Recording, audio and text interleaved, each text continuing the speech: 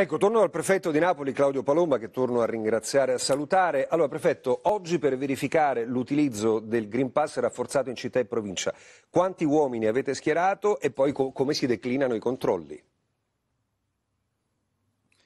Allora, oltre 400 unità che ovviamente si aggiungono ai controlli ordinari fatti come controllo del territorio, perché il piano anti-Covid sostanzialmente va a integrare il piano di controllo del territorio. Quindi oltre 400 uomini a cui si aggiungono Ispettorato del Lavoro, ASL e ovviamente i controlli che vengono fatti dalle aziende e dalle società. Quindi c'è un grosso sforzo di, di, risorse che ci auguriamo ovviamente eh, possa farci superare questa fase delicata, soprattutto nei primissimi giorni. Perciò eh, commissariati, polizia stradale, Confer... È... Eh. Prego. Sì, sì, sì, tutte le specialità delle forze di polizia, ovviamente la polizia ferroviaria, la polizia stradale, la polizia marittima per quanto riguarda i porti e la polizia di frontiera. Uh, a queste si aggiungono la polizia municipale e anche la polizia della città metropolitana. Quindi ecco, lei ha detto prefetto a collaborare, sono chiamate anche le aziende di, di, di trasporto. In che modo? Allora, noi abbiamo incontrato sia le associazioni di categoria sia le aziende di trasporto perché uh, il momento è talmente delicato che senza il contributo ovviamente di chi offre il servizio o come esercizi commerciali o come aziende di trasporto penso che eh, sia assolutamente necessario. Quindi ci siamo mossi in piena condivisione con le associazioni di categoria e con le aziende di trasporto che assicureranno un contributo importante ai fini dei controlli stessi. In caso di necessità, laddove ci fossero eventuali disordini o comunque resistenze, potranno intervenire laddove tenga presente che noi abbiamo individuato un numero elevatissimo di fermate di bus, fermate di metropolitane, dove in maniera visibile le forze di polizia saranno presenti. Eh, nel momento in cui ci dovessero essere delle resistenze, è chiaro che interverranno subito le forze dell'ordine. Quindi il piano è eh, diciamo, cadenzato secondo un sistema diciamo, anche di diversificazione dei controlli nelle varie fermate, individuate quelle a maggiore affluenza, senza comunque, come è stato detto anche nella direttiva del Ministero, andare a intaccare la fluidità delle attività, eh, ci saranno interventi un po' dappertutto in tutta la provincia. Abbiamo anche allertato i sindaci delle eh, città o comunque delle comunità della provincia in modo tale che tale servizio venga reso in maniera uniforme anche su tutto il territorio della città metropolitana. Ecco prefetto, rimaniamo sul controllo sui mezzi pubblici, ce ne andiamo insieme a Roma dove c'è la nostra Simona Vasta e alla stazione Laurentina e credo siano in corso proprio controlli. Simona, buongiorno, vengo da te.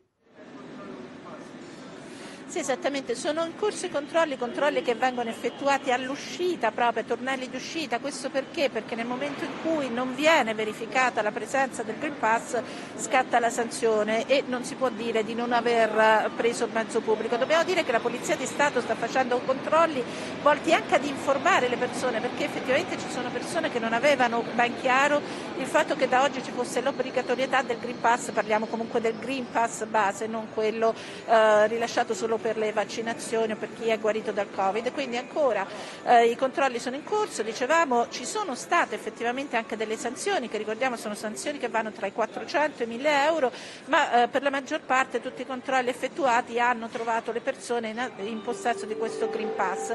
Eh, la polizia eh, fa i controlli insieme ovviamente alle altre forze dell'ordine, questo è uno snodo principale, pensiamo a tutti i pendolari che arrivano qui anche attraverso eh, gli autobus, le linee degli autobus che arrivano in questa stazione, oltre ovviamente ad essere poi il capolinea della linea B della metropolitana, quindi veramente un bacino di utenza molto importante, ma c'è anche da dire che eh, questi, questi controlli che vengono effettuati anche dagli stessi controllori che hanno però autorità per gli accertamenti giudiziari possono proseguire anche in via d'ufficio successivamente perché ad esempio se eh, si dichiara di avere comunque il Green Pass ma in quel momento non si ha la disponibilità di mostrarlo, vengono comunque poi controllati d'ufficio d'ufficio anche attraverso eh, gli uffici della ASL e nel caso in cui eh, non sia veritiera la dichiarazione scatta comunque la sanzione d'ufficio, quindi eh, è importante informarsi, è importante comprendere che per prendere anche mezzi pubblici locali è necessario il Green Pass. Roberto.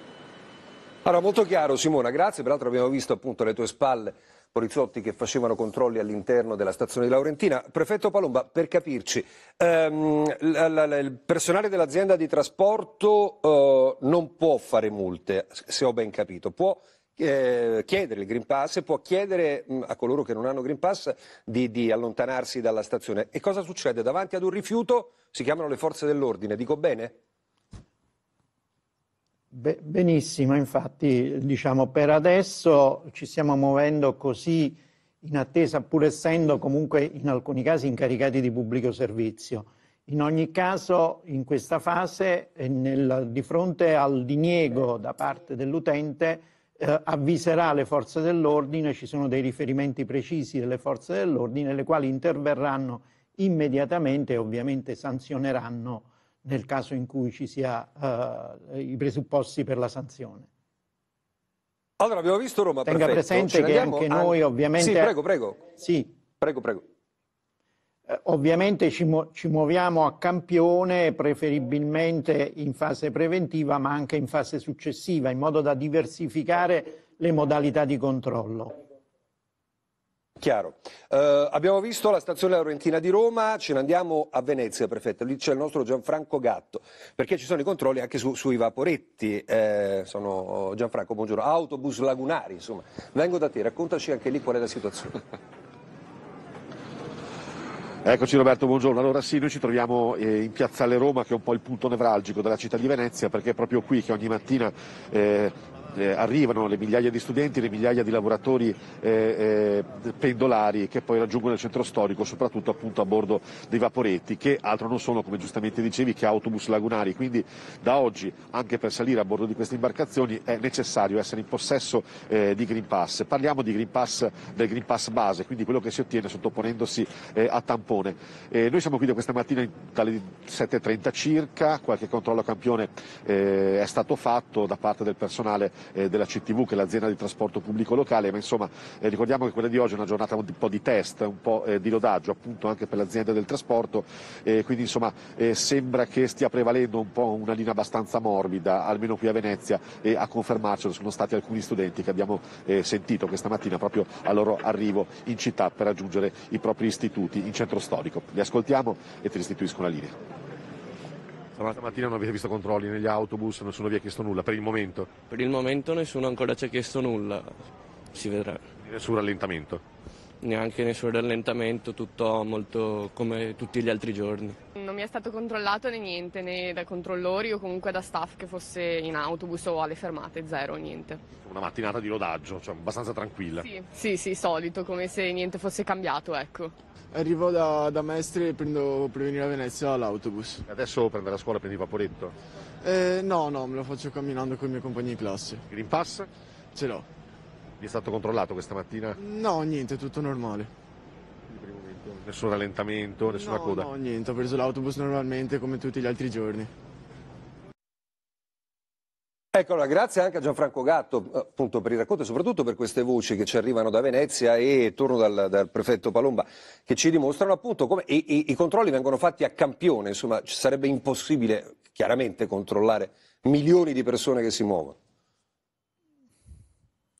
Sì, ma è anche specificato nella norma, nonché nelle direttive, sarebbe del tutto impossibile garantire, vista la molteplicità di servizi che vanno controllati, dei controlli a tappeto, quindi sono state scelte, immagino, da tutte le prefetture, perché ognuno di noi ha fatto un piano, eh, alcune, anzi ci sono state anche indicate, per esempio, dalle aziende di trasporti, le fermate a maggiore rilevanza, quindi in quelle eh, diciamo, stazioni ovviamente ci saranno dei controlli a campione, eh, che è anche diciamo, più utile se vogliamo, nel senso che non non, uh, in qualche modo non intacca la fluidità delle attività, ma al tempo stesso ci consente di fare più controlli anche in orari diversificati e uh, con modalità diversificate. Ecco, non intacca la fluidità del lavoro ordinario, questo è importante da sottolineare, prefetto, cioè le attività ordinarie vanno avanti e vanno avanti ugualmente, così come ogni giorno si fa in questo Paese, malgrado alcuni uomini siano stati eh, in qualche modo destinati al controllo del Super, del super Green Pass. Sì, infatti, eh, questo è specificato anche nella direttiva del Ministro dell'Interno, cioè dobbiamo eh, assolutamente controllare l'applicazione e eh, verificare la, eh, diciamo, la, l'osservanza delle norme, ma al tempo stesso garantire che i servizi non abbiano diciamo, dei rallentamenti e quindi che ci sia fluidità nel servizio anche per evitare assembramenti, soprattutto per i controlli all'ingresso. Insomma. Quindi è assolutamente necessario muoversi con equilibrio e moderazione, ma al tempo stesso con fermezza. Uh, allora, mh, mm, siccome sono milioni eh, insomma, di, di, studenti che, che, ogni giorno appunto, prendono i mezzi pubblici, facciamo un punto anche appunto, sui più giovani, quali sono le regole per i più giovani. Ci vediamo, prefetto, insieme anche a questo servizio e poi torno da lei. Per ridurre il ricorso alla DAD, esercito e generale figliuolo che dovranno essere subito operativi a risolvere due questioni su cui finora moltissime ASL hanno fallito o non sono riuscite fino in fondo. Garantire un testing tempestivo in caso di contagio far partire all'istante il tracciamento. Dall'Associazione Nazionale Presidi l'appello all'intervento dell'esercito e del generale figliuolo per contenere i contagi e l'ineluttabile ricorso alla DAD nella scuola se qui non si migliora, dice il presidente Antonello Giannelli in un'intervista al Sole 24 Ore, qualsiasi protocollo per gestire il Covid nelle scuole, salvando le lezioni in presenza, è destinato a rimanere inattuato. La didattica a distanza, soprattutto tra i più piccoli, ha mostrato di essere ancora acerba come percorso formativo adeguato. Secondo i dati forniti dall'Associazione Presidi saranno già 10.000 le classi in DAD con l'arrivo dei mesi invernali. La risalita dei contagi e le lezioni in presenza sembrano sempre più a rischio. Il 29% dei positivi in Italia, secondo l'Istituto Superiore di Sanità, è under 20. Nel report il 51% dei casi in età scolare è stato diagnosticato nella fascia 6-11 anni, il 33% nella fascia 12-19 e solo l'11 e il 5 sono stati diagnosticati rispettivamente tra i 3 e i 5 anni e sotto i 3 anni. Dati in costante crescita che mostrano comunque la validità dei vaccini. Dal 16 il via libera nelle fasce d'età tra 6 e 12 anni. Un siero sicuro, ribadisce il coordinatore del CTS Franco Locatelli. Bisogna vaccinare i bambini per la loro salute, è un bel regalo di Natale per i bambini, dice ancora, sottolineando che vaccinare i propri figli è un gesto d'amore. Maria Cristina Boschetti, Sky TG24. Ecco, vaccinare i propri figli è un gesto d'amore, ci diceva la nostra collega prefetto. Vogliamo ribadire un concetto che il Super Game Pass è una garanzia per la salute collettiva, di questo noi stiamo parlando, ma che consente anche alle attività commerciali di non chiudere, soprattutto in un periodo come questo, prenatalizio o natalizio. Ma guardi, sì, eh, difatti il, io faccio anch'io un appello oh, richiamando le ultime parole, è un gesto d'amore per i figli e anche per le persone più anziane e soprattutto in una fase come questa non ci possiamo, soprattutto sotto Natale, eh, rischiare che eh, salti diciamo, l'attività commerciale, gli esercizi commerciali e tutte le altre attività. Uh, quindi il mio appello è soprattutto ai genitori e ai familiari. Uh, fate questo gesto d'amore verso i ragazzi e soprattutto, innanzitutto, chi non l'ha ancora fatto, uh, che si vaccini e che faccia diciamo, il percorso vaccinale.